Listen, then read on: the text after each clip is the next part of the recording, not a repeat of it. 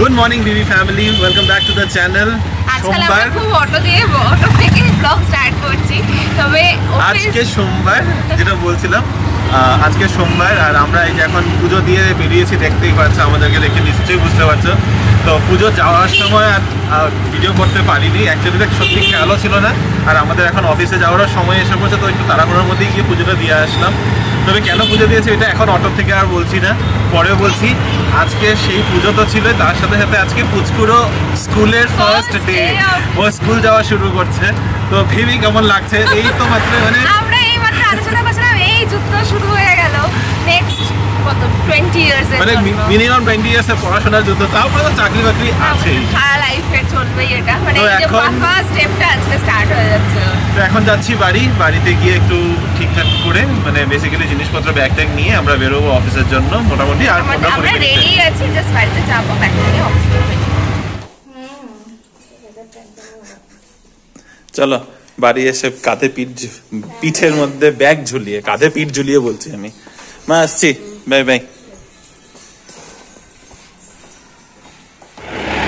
চলো পাপা। তোমার স্কুল। আসো। হ্যাঁ আসছে চলো।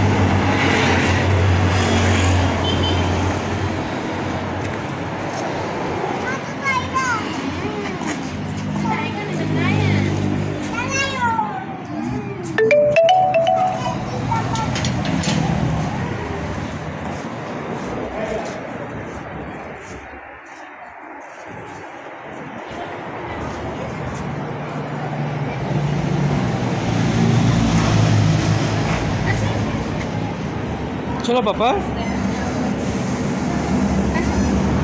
চলো চলো চলো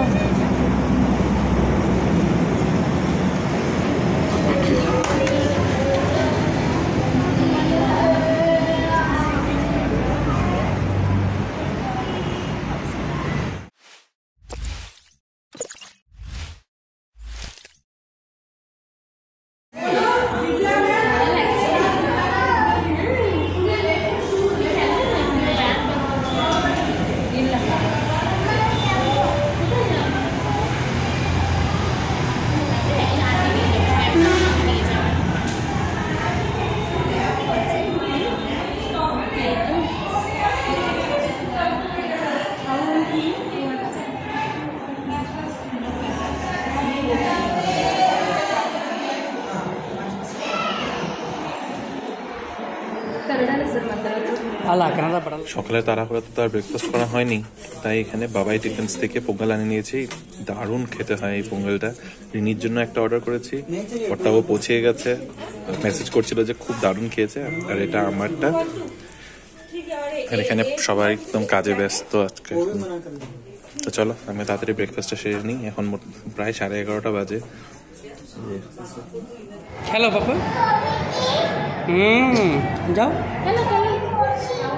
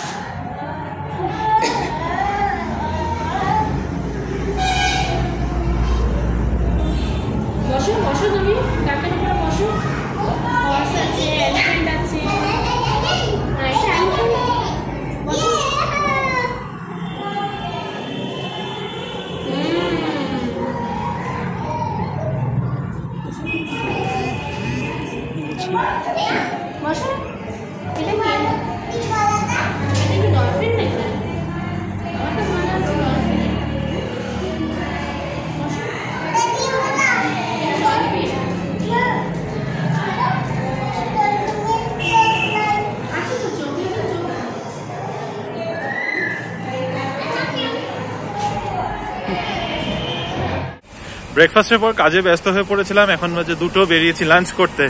তবে আজকে দুজনেই টিফিন আনি নেই তো তাই যেতে হবে কোনো একটা আশেপাশে রেস্টুরেন্টে যাচ্ছি রিনির অফিসের কাছে। ও নিচে আসবে, তারপরে যাব লাঞ্চ করতে। আশেপাশে ওই সাউথ ইন্ডিয়ান রেস্টুরেন্ট ছাড়া ভেজের অপশন নেই, আজকে সোমবার যেহেতু জানোই, সোমবার দিন ভেজ খাওয়া হয়। তো সেটা একটা ব্যাপার রয়েছে, দেখি কোথায় কি পাওয়া যায়, একটু দেখতে হবে সার্চ করতে হবে। তবে বললামই দুটো বাজে, তাড়াতাড়ি লাঞ্চ করে আবার ফিরে যাব। বৃষ্টি নামবে মনে হচ্ছে ওয়েদারটা আজকে কিন্তু বেশ কি বলব মানে এটা গোমট গরম রয়েছে, কিন্তু সূর্য নেই। মানে সূর্য সূর্য আছে, কিন্তু দেখা যাচ্ছে না। যাই হোক, চলো দেখি রিনি আসুক লাঞ্চটা শেয়ারি তারপরে বাড়ি গিয়ে হয়তো তারপর আর দেওয়ার দেখা হবে। এটা আমার। হ্যাঁ তুমি দিব্যি নিয়ে নিয়ে খেতে যাচ্ছ যে? আলু বাটারটা কি ভালো এরকম আগে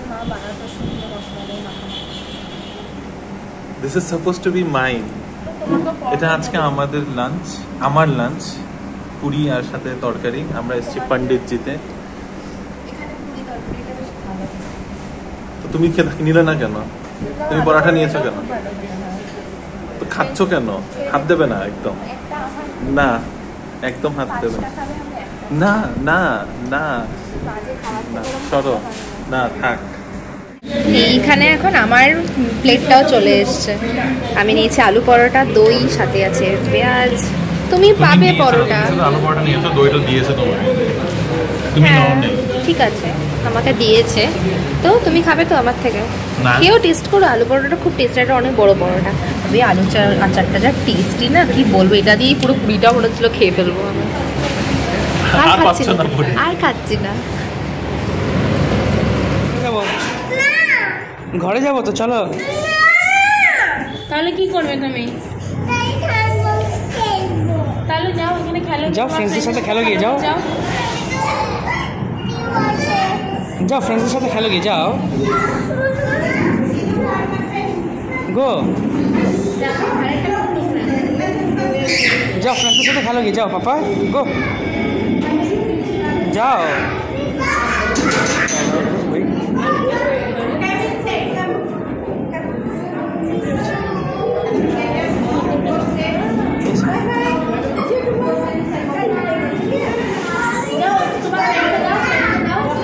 যাও ফ্রেন্ডসকে দাও যাও গো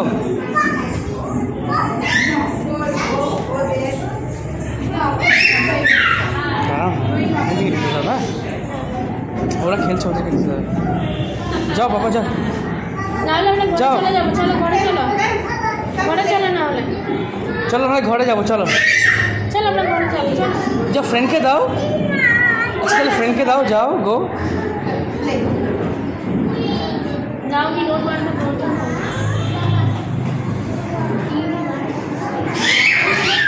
সবাইকে বাই বলে দাও।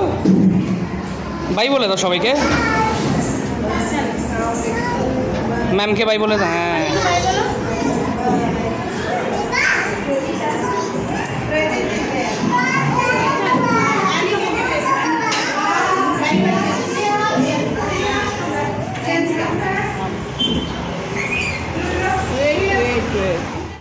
একটা নারকেলের মধ্যে দিয়ে গেলে অনেক ভালোবাসা বাড়ে না? ভালোবাসা বাড়তে হবে না যথেষ্ট যা আছে যথেষ্ট আছে খাও। হ্যাঁ আমি তো দেখেছি এই নাও সিনেমাতে এই যে সিনেমাতে আরে সব সিনেমা হয় না খা। তুমি খাও দুটো নিজেকে নিজে ভালোবাসো সেলফ লাভ এটা একটা থেকে দুটো খেলে ভালোবাসা না না খাও। মিষ্টি আছে। তো সিনেমা না তো এটা এটা এটা রিয়ালিটি আমি আমার খাওয়া শেয়ার করি না তুমি যদি ভাবছি এর থেকে শেয়ার করে দিলে তারপর তুমি আমাকে আমি খাইতে দেবো এটা হবে না। Good I appreciate that sentiment না না খাব না। না।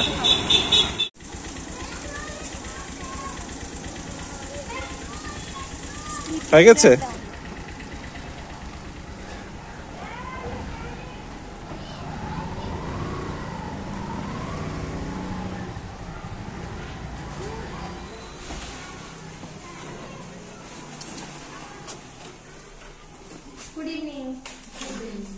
কি করছে?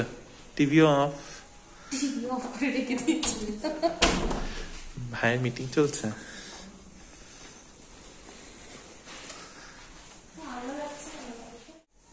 হোম সেটআপ থেকে আমার দিওয়ালির অ্যারেঞ্জমেন্টের জিনিস এসে পড়েছে।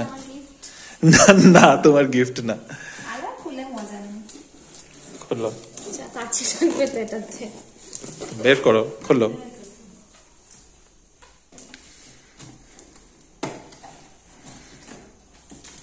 আরে কাটতে হয় না। কাটতে হয় না এমনি টানো।